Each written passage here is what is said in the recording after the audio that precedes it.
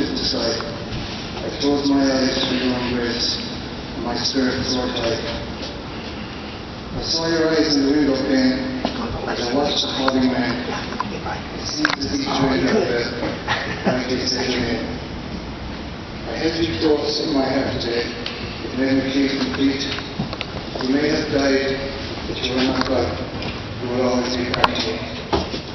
As long as the sun shines, the wind blows, the rain falls, live on inside of this. And that's all my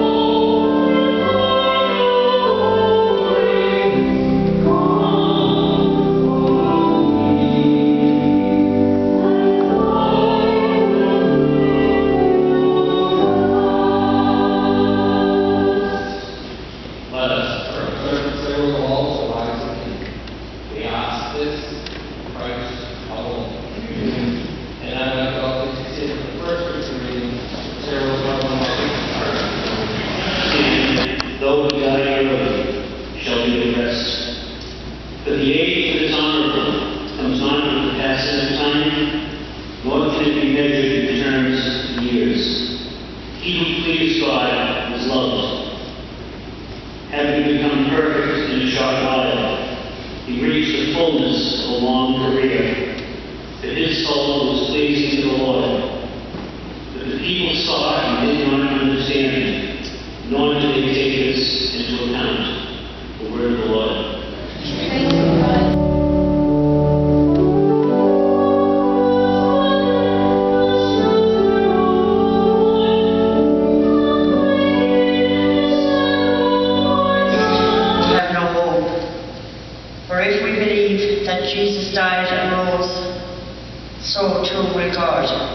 Jesus. Bring with him those who have fallen asleep. Therefore console one another with these words. This is the word of the Lord. That first scripture reading, which Richie read, was from the Old Testament book of And that scripture reading told us that we shall always stay with the Lord. And this is what we refer to as the promise of eternal life. And we know that this promise doesn't take away the sadness and the pain at the time of death, final separation. But for those of us who are Christian, it's intended to be our source of hope and of consolation in the face of death. And so it's mindful of this belief that we're able to gather together here this morning and with our prayers commend Cyril to Almighty God. Cyril was born back in 1950 and he grew up in Lisdoonvarna, Ireland, one of the late Michael and Margaret's eight children. His sister Chrissy has already predeceased him. But as a young man, I'm told Cyril worked in the bog cutting turf, and his family had brought a piece of that turf here. It's up here in front of the church. They brought that with them from Ireland. But he also enjoyed hurling, as a hurley up here, and Gaelic football, and those shirts are there as well, playing in the St. Martin's Irish Football, Gaelic Football Club. But Cyril immigrated here to the United States back in 1979, and he moved here to Winthrop, into the home of his sister and his brother-in-law Richie. He went to work as a painter, and just a year later began his own painting business, which he has run now for the past 31 years. Back in 1982, he married his beloved Janet. He became a father figure to many of his nieces and nephews. I'm told that he was a very kind person with a very big heart. He was always available to help other people who needed. He was well liked and respected and good to everyone. Cyril was also very active in the Irish Pastoral Center here in Quincy. He enjoyed local Irish football clubs. But most important of all this morning, I'd suggest that Cyril attended Mass regularly. He was a man of faith. His faith was very important to him. And he also, I'm told, had a very special devotion to St. Martin de Porres. But listen now to those words of Matthew's Gospel, which I just read. Come to me, all you who labor and are burdened, and I will give you rest. Those words are addressed to us as we struggle with Cyril's sudden and tragic death. We pray that he is now at rest, safe in the arms of a loving God, reunited with his parents and his sister Christy. For you and for me, that journey towards eternal life continues. Our Christian hope and belief is that one day we will be reunited with Cyril and all those we've loved in this life, in a place where there is no more pain or heartache, but only eternal happiness in the presence of a loving, understanding God.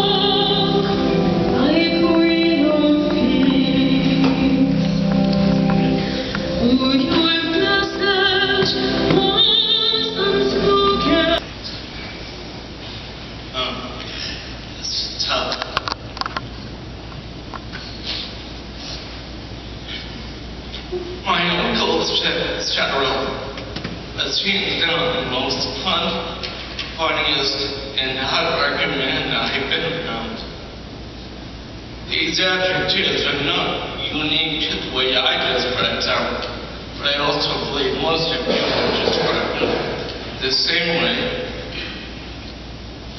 He was a man's man, a who didn't show emotion much, They probably thought it was your sign of weakness. He arrived in this country in my first birthday and played an instrumental role in my license. He was there for my wedding, was at the hospital for both of my children's birth, was at all the fundraisers I've had, and would always call me to check on my well-being. I was fortunate enough to have gone on many vacations with him. New Hampshire, Maine, Florida. Spent Christmas together in Ireland many times. My most memorable recent uh, had a St. Patrick's Day last year with my mother, Aunt Janet, uh, Aunt Anna, and Uncle Tom. What last we had.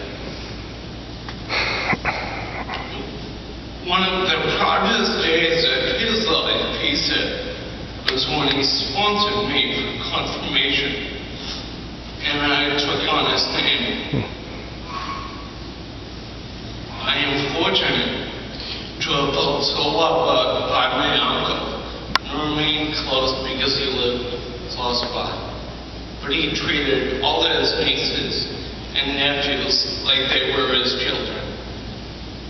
He always welcomed them with open arms, the occasional job, and a place to stay anytime he liked. He is going to be missed by so many. He had so many memorable quotes. One of his was just brilliant to people. And it was and it is a fitting way to end his life. He would extend his hand and say, shake the hand and shake the world. And on his last day, he shook out three people.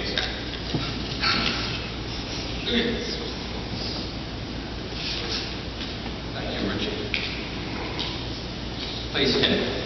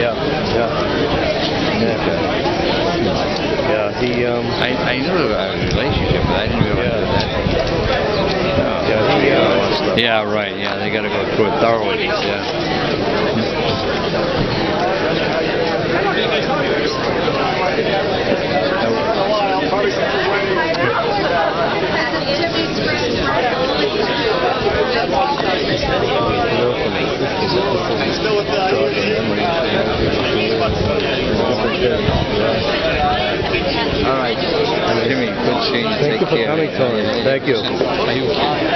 Thank you.